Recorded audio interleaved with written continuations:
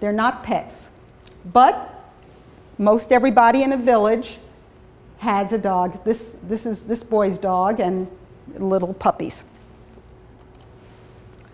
And here, as you can see, he's protective of his dog. One of them is tied up, so his dog doesn't wander. Again, this dog from Jamni, this is the village elder's dog, the one at the top left.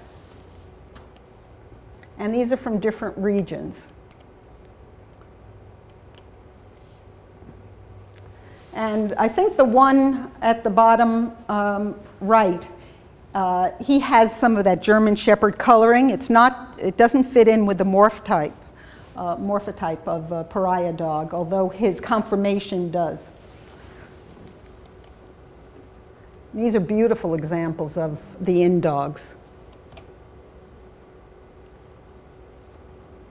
She also noted that what you notice how erect their ears are? When they're with their owners, as you saw with the first picture, the ears come out to the side, and their tail, which is usually curved over their back, is lowered in submission. Now, these are going to be pictures of, I talked about uh, rescuing dogs, and the people, particularly in Mumbai, when you read their blogs, they are very serious about rescuing the in dogs and, and keeping it intact, and they also and they bring them home. Deepa, it's not dark enough for you to see, but Deepa was found um, injured, has very deep scar in her forehead. And this is Deepa after she healed, and Deepa and she was uh, rescued by Nicole in Mumbai.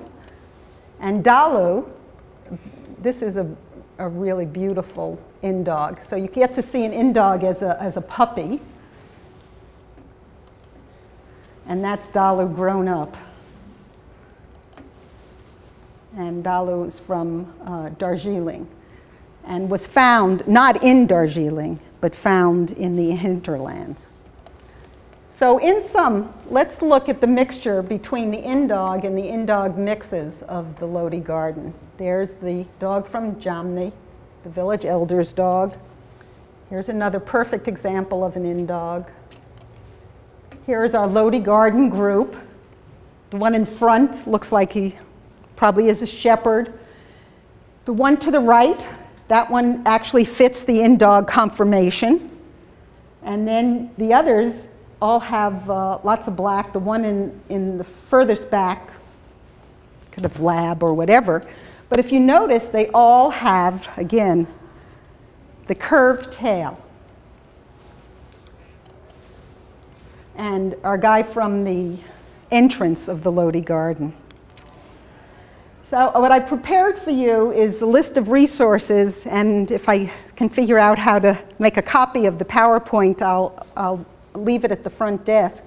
And these were some of the um, websites where I got information about in-dogs and also the animal rescue. And I hope you've enjoyed this little tour of the Lodi Gardens and of uh, the situation in India. And we can be really proud of what we're doing here at Marin Humane Society because the people in India are fighting, uh, trying to do the same thing that we're doing, but uh, with much greater, uh, much fewer resources at hand. Yeah?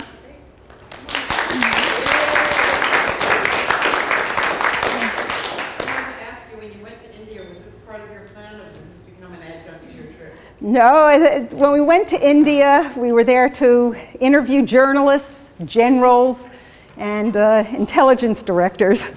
Uh, the, uh, there was no plan. They, we had a very busy schedule. It's just that we were fortunate to stay at the India uh, International Center, and it's right in the Lodi Garden.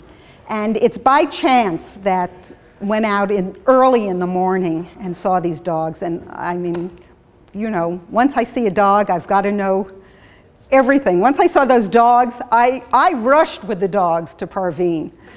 And then I got her number, I called her. She told me, come out in the morning. And that's when, every time I saw a dog and I saw somebody, I just went right up to them. I was a homing dog myself. And then when we went to Agra, you know, most people take pictures of the scenery. I took pictures of the dogs. so uh, I am excited. I, I, as I said to Ralph, as a result of this, I've really read a lot about Indian history.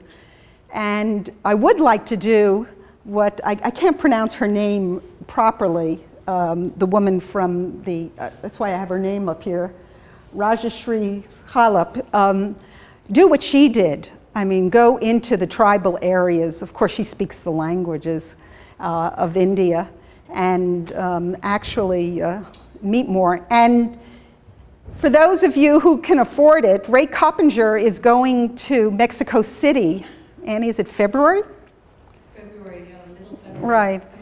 And he's going to be studying community dogs in Mexico City with a group of people. So you would have a chance to actually do in a serious way, which I did in a little ad hoc way, which is, to, which is actually to follow the lives of these dogs. Other questions? Thank you. Thank you very much. Thank you.